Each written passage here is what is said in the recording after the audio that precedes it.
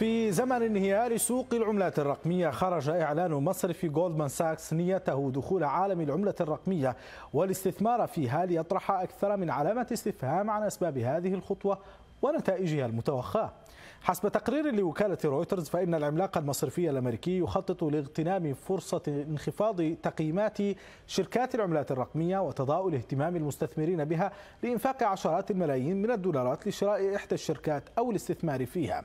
حسب التقرير فإن المصرف يرى أن الوقت مناسب اليوم من أجل دخول العالم الرقمي بسعر منخفض للغاية بشكل يسمح له بإنفاق مبالغ أقل مستفيدا من اهتزاز الثقة بالقطاع بشكل عام خصوصا بعد انهيار شركة FTX يقول رئيس قسم الأصول الرقمية في البنك أن انهيار FTX زاد من الحاجة إلى المستثمرين الجديرين بالثقة والمنظمين لافتا إلى أن المصارف الكبرى ترى فرصة الآن يجب اغتنامها.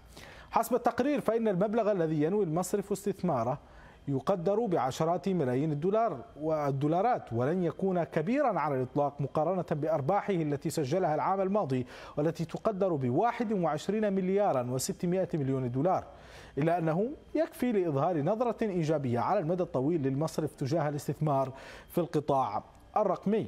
يشير التقرير كذلك إلى أن الدخول المحتمل لجولدمان إلى عالم العملات الرقمية سيشكل خطوة إضافية لجذب هذه العملات إلى أعمال الخدمات المصرفية في الولايات المتحدة ما يمهد لقوننتها بشكل كامل وفرض رقابة مالية عليها. الأمر الذي من شأنه خفض مخاوف كبار المستثمرين. برز في هذا الإطار تحديدا اتفاق وزراء مالية ومحافظي البنوك المركزية لمجموعة السبع في اجتماعهم الأخير قبل أسابيع على ضرورة تنظيم سوق العملات الرقمية وإخضاعها للرقابة بشكل صارم.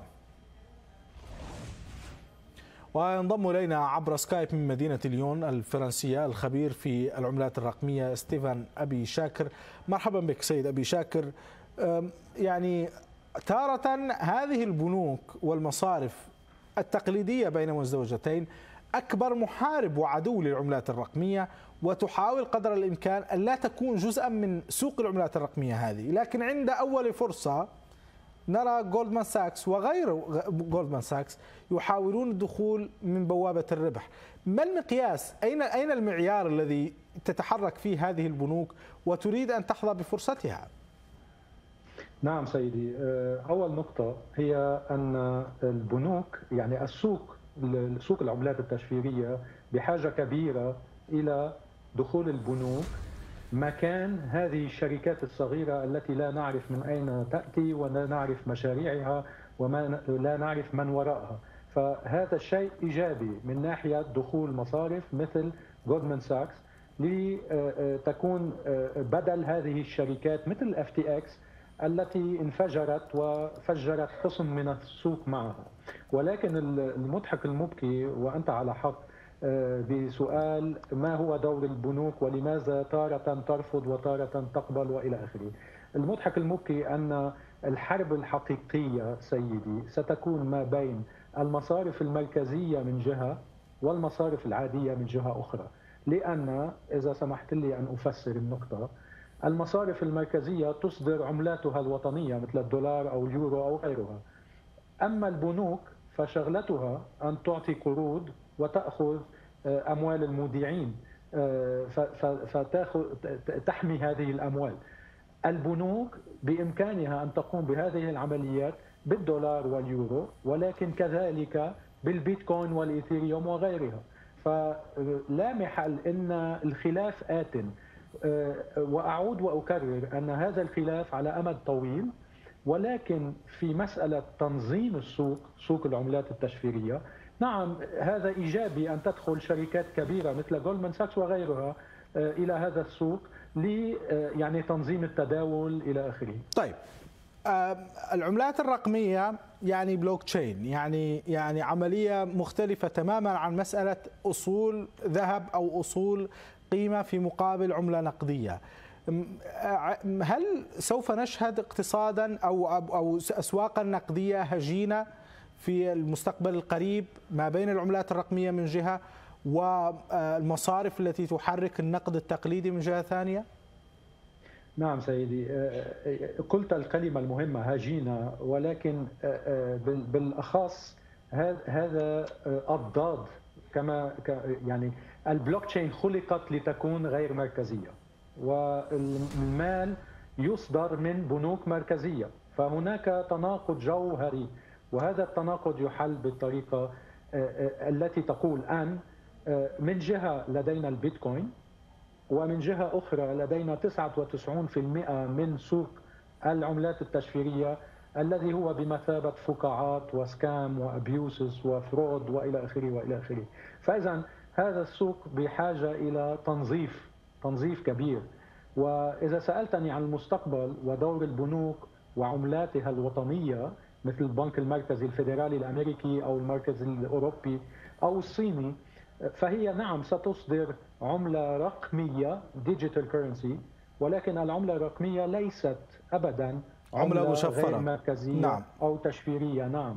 نعم هي نعم. هي فقط عملة اسمية. في الواقع أغلب ما يستخدم الآن هو عملات رقمية يعني بوسائل الدفع الإلكترونية. طيب هل في المستقبل القريب يعني نحن رأينا ما حدث لاف تي إكس وشكل صدمة وهز ثقة الناس الذين كانوا يسمعون من المثبطين من حول العالم أنه هذه هذه عملات رقمية هذه مبنية على مشاريع لا يمكن الوثوق بها. والآن عدد العملات الرقمية لا لا يحصى المشفرة طبعا الحديث هنا عن المشفرة. هل بإمكان البنوك عندما تدخل أن تعزز الثقة؟ وجولدمان ساكس ليس أول بنك يدخل.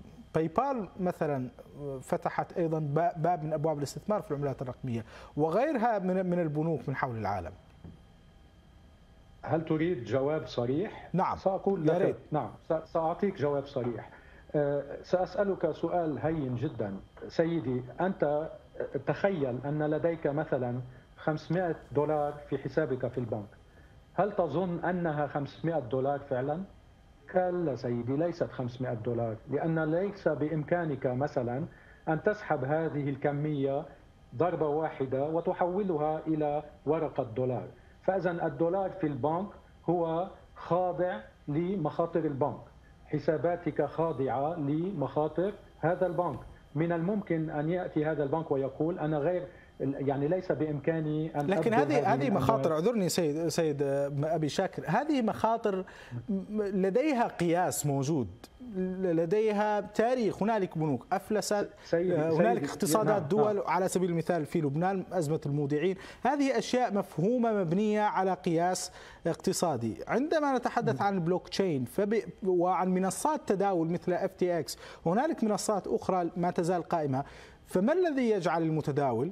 الشخص الذي يريد تداول هذه العملات بغرض الربح أو بغرض التخزين أو بغرض الشراء حتى ما الذي يجعله واثقا من أنه في المكان الصحيح وبأن FTX لن تتكرر ماساتها مرة أخرى؟ نعم اولا اولا هناك فرق شاسع ما بين آه، يعني منصات التداول من جهة مثل كوين بيس كراكن FTX وغيرها والعملات التشفيرية من جهة أخرى. شيئين يعني ليست نفس الشيء. لكن المنصات تستخدم تستخدم في في التداول. اعذرني سيد أبي شاكر وأنتم أدرى. تستخدم في التداول. لا أقصد عن العملة نفسها. ليس التشكيك في العملة نفسها. يعني تقريبا فكرة العملة واضحة. عذرا عذرا. أنت على حق أن تشك في العملة التشفيرية في 99% من الحالات. هذا رقم مهول. يعني أنا ما أقوله اليوم من 15 ألف عملة تشفيرية. هناك للأرجح 14500 أو 700 عملة تشفيرية هي بمثابة فقاعات وأكاذيب و و و وللأسف هذا السوق غير منظم ويدخل المستثمر إليه ويبغى الربح السريع. يعني نشتري ولا ما نشتري سيد ستيفان؟ هذا هذا لا اسمح لي يعني هذه نقطة مهمة جدا. اسمح لي اخلص. فإذا 99% بمثابة فقاعات وأكاذيب و و و ولكن السؤال الجوهري كيف خلق هذا السوق ولماذا خلق هذا السوق ومن أين أتى؟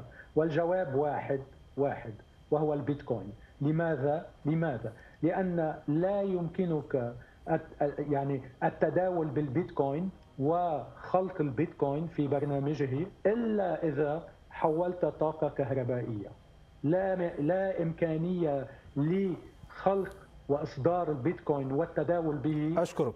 جديا إلا بتحويل طاقة كهربائية التي هي لديها قيمة. أشكرك. وهذا الفرق الشاسع بين بيتكوين وغير عملات. من ليون الفرنسية الخبير في العملات الرقمية ستيفان أبي شاكر شكرا جزيلا لك.